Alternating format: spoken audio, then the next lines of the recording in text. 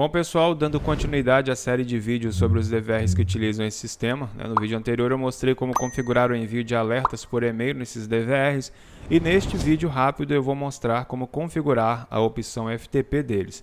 E a opção FTP serve para enviar gravações para um servidor na internet quando é disparado algum alarme no DVR. Né? Você pode, por exemplo, fazer com que o DVR envie um trecho de vídeo para o servidor toda vez que alguém passar na frente da câmera. Né? Basta ativar a detecção de movimento no DVR e marcar a opção FTP lá nas configurações de detecção. Basicamente, essa opção FTP permite gravar as imagens na internet. E para utilizar ela, né, você precisa ter um servidor FTP. Se você não sabe como obter um, eu tenho um vídeo aqui no canal mostrando como obter e configurar um FTP gratuito e ilimitado. Né? Eu vou deixar o link do vídeo aí embaixo na descrição. Então você assiste ele antes e depois volta aqui. E vale salientar que você encontrará aí na descrição vários outros vídeos sobre esses DVRs. Né? Caso queira aprender mais sobre eles depois, basta dar uma olhada aí. Os vídeos estão disponíveis também na biblioteca DVR 2.0 aqui no canal. E além dos vídeos, aí na descrição você encontra também o manual desses DVRs em português, bem como as informações de contato do suporte, com o número de WhatsApp e o e-mail. Né? Caso precise de ajuda, basta mandar um oi no suporte e receberá auxílio gratuito gratuito. Bom, e para configurar a opção FTP desses DVRs, basta entrar no menu. Né? Se o DVR pedir senha, você digita a senha dele e se a senha dele estiver padrão ainda, como no meu caso, basta deixar o campo de senha em branco e clicar neste botão. E se você não souber a senha do seu DVR, eu tenho um vídeo aqui no canal mostrando como fazer o reset da senha de volta para a padrão. Né? O vídeo está aí na descrição e na biblioteca DVR 2.0, mas você pode entrar em contato diretamente com o suporte e receber auxílio para resolver o seu problema.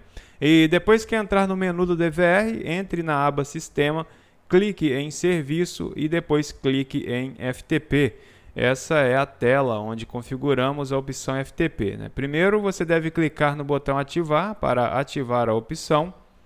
Em IP do servidor, você deve digitar o endereço do servidor que será utilizado. No meu caso, o servidor ftp upload.net. Na porta, você deve informar a porta utilizada pelo servidor. No meu caso, é a porta 21. Essa opção anônimo você pode deixar como está.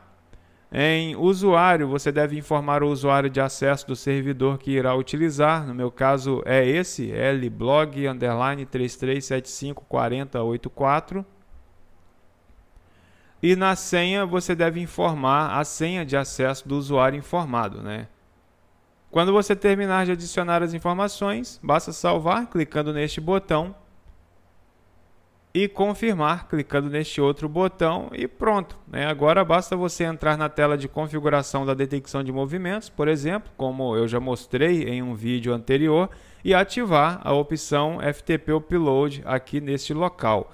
Feito isso, sempre que for detectado um movimento, o DVR enviará um trecho de gravação para o servidor na internet e você poderá acessar a gravação entrando no servidor. Qualquer dúvida que você tiver, já sabe, né? Basta entrar em contato com o suporte. As informações de contato do suporte com WhatsApp e e-mail estão aí na descrição do vídeo e em um comentário fixo aí embaixo e esse vídeo vai ficando por aqui, né? No mais, peço por gentileza que deixe seu like no vídeo, que se inscreva no canal e que ative o sininho para saber quando eu postar outros vídeos. E também, né, para nos ajudar na manutenção do canal de suporte. Agradeço de coração a todos pelo apoio, Deus os abençoe e até o próximo vídeo.